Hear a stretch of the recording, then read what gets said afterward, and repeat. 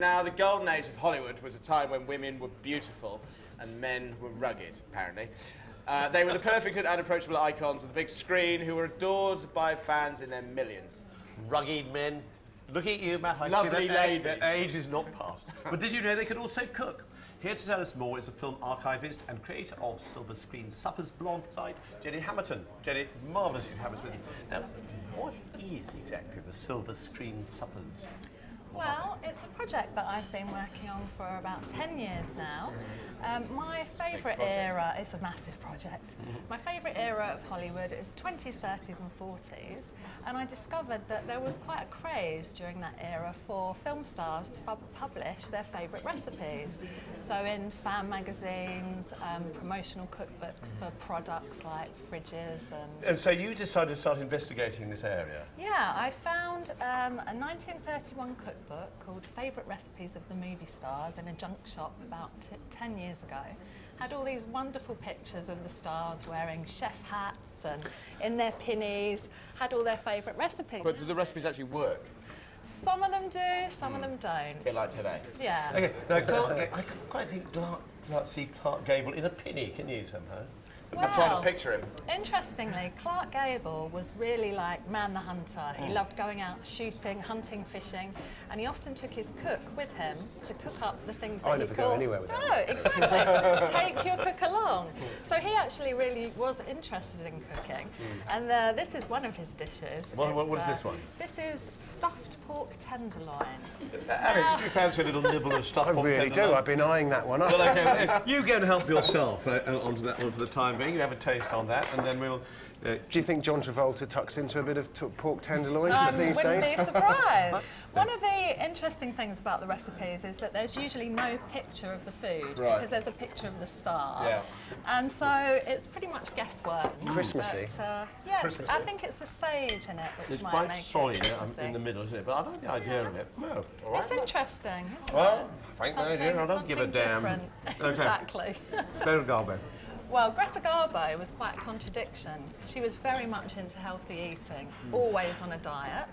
Um, when she was appearing in her film Ninotchka, the director, when he first saw her, thought she looked really pale because she was on a diet of carrots and cabbage.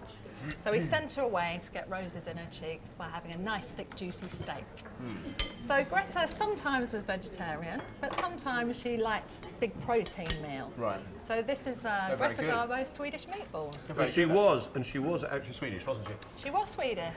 No. Very soft. Secret ingredient in there. What's that? Well, I'm not a fan of making breadcrumbs myself, so I really love these meatballs because they they use cornflakes. Cornflakes? Yeah. Put them in a big bag and smash them all up with a rolling pin. I can imagine Can't taste it. No wonder she went around saying, I want to be alone. Exactly, exactly. Have you got one of these wherever you are? Almost, but not quite. them all up his sleeve. Jane Crawford. Joan Crawford was quite a fanciful cook, a little bit of a show-off cook. Alex, tuck into those. Would you like to slice? These are a bit of an acquired taste. Oh, there- Clearly you wouldn't. Stuffed Yeah. peppers, the heart sinks, Well. I must say. You know, because it's Joan, she wouldn't call them stuffed peppers. She'd call them creamed white onions in a red pepper cup. You know, that is the title of that dish. But what I find this in here we have these sort of glorious gods and goddesses. of Oh, it, look, there's all silver sorts in there. Oh, That looks that- excuse me. This, that is going nowhere near my mouth. But somehow this this sort of domestic, you know, this rather Mm. sort of domesticated, almost suburban feeling is really bizarre. Well, I think sometimes the stars like to seem approachable to normal people. And a lot of the reason for having these recipes was for ordinary people to be able to have a bit of stardust in their own kitchen and live like the stars or, you know, have a bit of that star quality. A little Oh, what? that's bran. Oh my god. It's healthy. It's got you. It's It's better. It gets your roughage in there. Okay, what about the end there? Marlene Dietrich.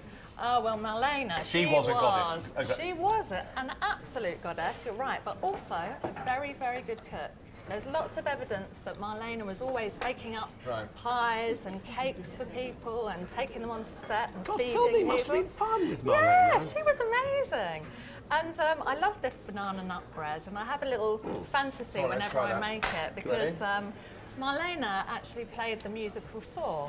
So I like to think of her having a little practice. Come on, Alex, can't you add at that the to She sounds like a pretty, huh? pretty cool. Well, it Ooh, was quite nice. My Lady Marlene was a, a unique song because it was actually, I think it was number one, was a hit with both the English and the German forces Right, during the yes. war. Yes. Well, she did entertain the troops playing the hmm. music. With a sword? Yeah. Jenny, thank you very, very Thank much you very indeed. much. Thank you very much.